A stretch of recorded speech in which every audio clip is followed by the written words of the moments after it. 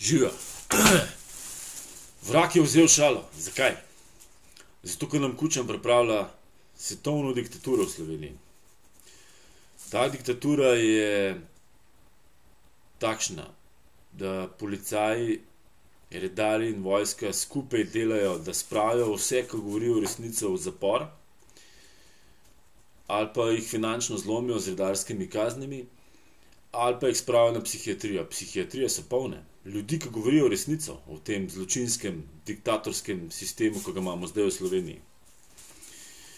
Zdaj bom nekaj povedal. Jaz sem govoril resnico 2010, da je Borod Pahor na kokainu in so me spravili v begunje na zaprti oddelek. 2013 sem govoril, da župan Murske sobote Štihec krade občane za modro cono.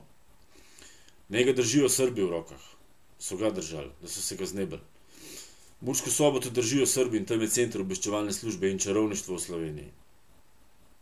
Mursko soboto vladajo Srbi s štirimi lokacijami.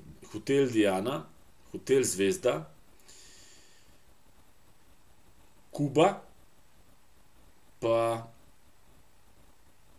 Spartakus. Mislim, da je Spartakus. Um, 2013 so me spravili v psihiatrično, v Ormož in to z nezakonitimi, nedovoljenimi sredstvi, z mikrovalovi so me obstrajali, to srpska mafija, v sodelovanju s slovensko policijo in psihiatrijo.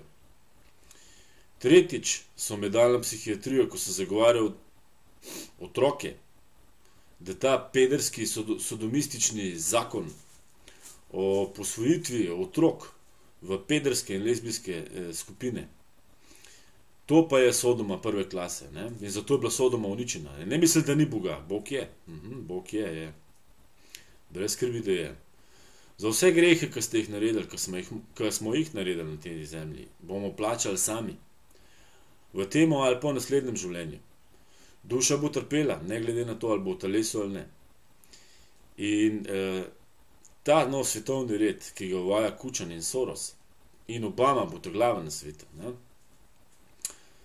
Zgleda tako, da bojo mogli vsi častiti artificial intelligent, Boga, ne? umetno inteligenco. In s to umetno inteligenco bo en človek lahko nadziral in to bo verjetno Obama, cel svet in vse duše. Gre za krajo duše, dušo hoče ukrasti. Dušo. Dušo. Veste, kaj je duša?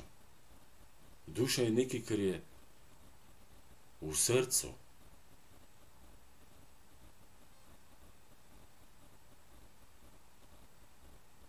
Meso ni živ, če ni duše noter. Razumete? Meso ni živ, če ni duše noter. Bog vam bo sodil in to veliko. Veliko batim boste dobili. Karma obstaja.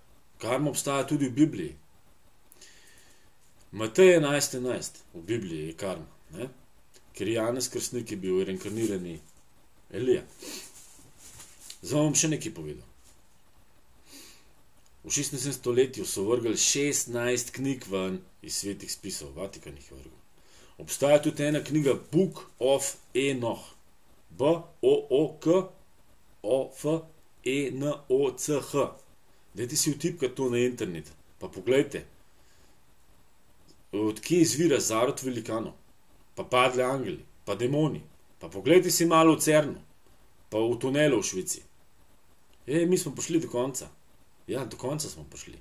Zdaj bo pokal, kar pri norcih. Obama bo vrgel atomsko bombo na New York. In nov svetovni red bo ena vojska, ena religija, pa ena država. To bo približno tako, kot je bilo za časa Babilona, Nimrod. To so satanisti težki. Bankiri hočejo denar ukiniti in hočejo spraviti vse na digitalno enoto. Ta digitalna čip, ki ga vam bojo dali v roko, bo spremenil vaš DNA in vplival na vaše možgane. Tako, da se ne boste mogli več sami odločiti, kaj bi in kaj ne bi, kaj je prav, kaj je narobe. Ta čip bo stokrat močnejši in bo prevzel funkcijo vaših možganov. Vi ste izgubili dušo pol. Ja, čipiranje hočejo peljati. Znamenje zveri je to, zato ker zveri je Obama. Obama je napisal Obama, ker da bo uh, uh, obvezno čipiranje ljudi. Lažejo vam, da bo to pomagalo vam, da vas bojo rešili, če vam bo padel krvni sladkor, da vas bojo oni izsledili.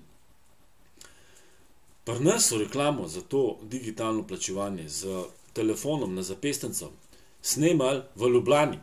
Predvajanje je bilo ne 3-4 leta nazaj, ampak ne v Sloveniji, v Ameriki je bila predvajana. Snemali so jo pa na kongresnem trgu, pa na Tromostovju.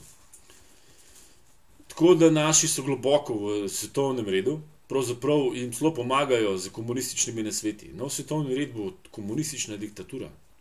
Komunistična diktatura, ljudi bojo zapirali v FEMA kempe, drugo so že pripravljene. A ja, pa je starit bo padel, ja? pa ne eden, več jih bo padal. Vse se bo sesul, čisto vse se bo sesul. Elektrike ne bo, elektrike ne bo.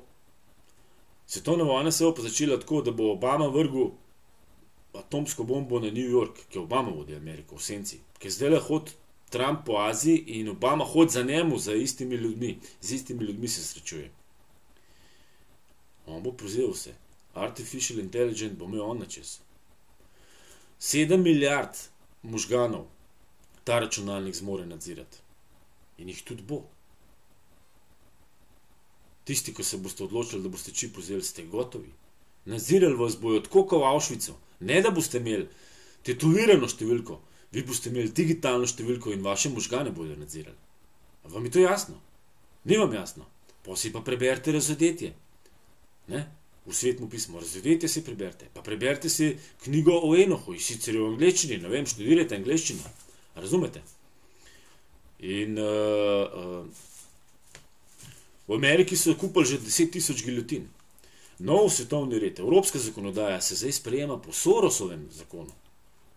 Sorosov zakon o toleranci, vam bom pripel zraven, ne par filmčkov, da si ti malo pogledali. Drugač pa vam povem, da edina pametna vdaja, kaj povem, je radio Gaga in jaz sem zdaj radio Gaga poslušal. Ajde, fanti, držite se.